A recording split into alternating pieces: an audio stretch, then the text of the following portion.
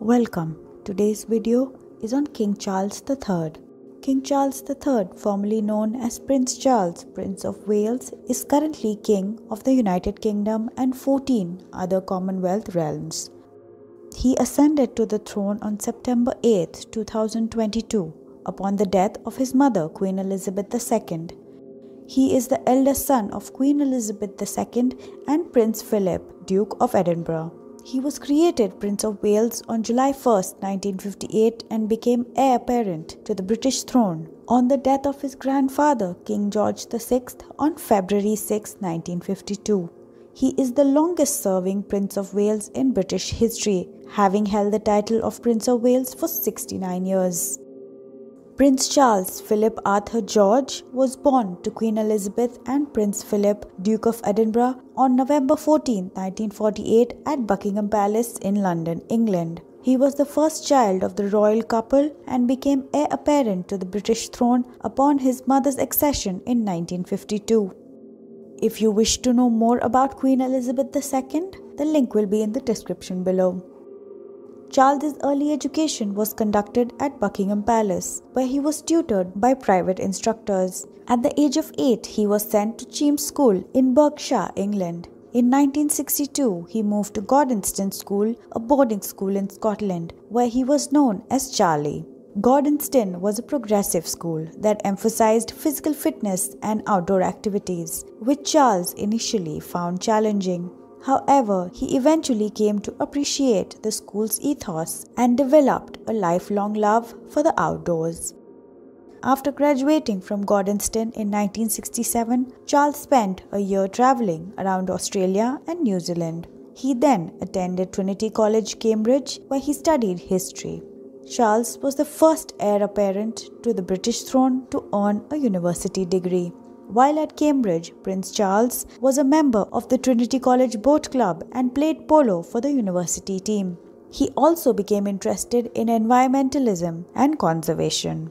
He also served as the president of the Cambridge Union, the university's debating society. Following his graduation from Cambridge in 1970, Charles joined the Royal Navy. He served on the ships HMS Norfolk, HMS Minerva, and HMS Jupiter. He also trained as a jet pilot with the Royal Air Force.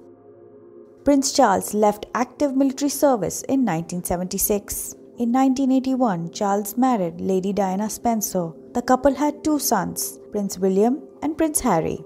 Diana became one of the most popular members of the royal family. However, the marriage was troubled and the couple divorced in 1996. If you wish to know more about Princess Diana, the link will be in the description below. In 2005, Charles married Camilla Parker Bowles. The couple had been involved in a long running affair while Charles was still married to Diana.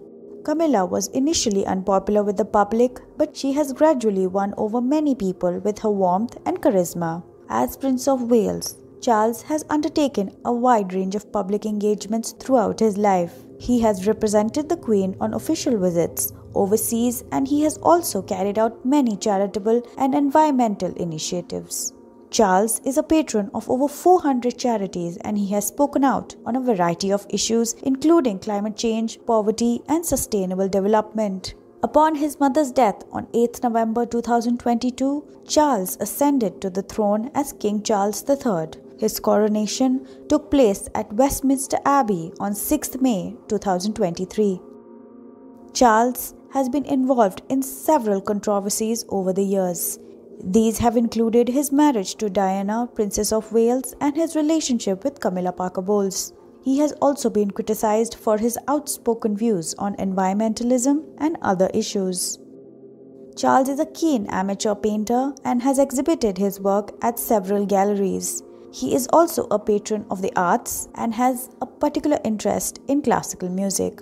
Charles is a vegetarian and a teetotaler. He is also a keen advocate for organic farming and sustainable agriculture.